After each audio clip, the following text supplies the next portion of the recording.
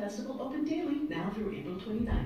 Go green, save green at Papé Machinery Ag and Turf. For a limited time, take home a new John Deere compact utility tractor backed by the exclusive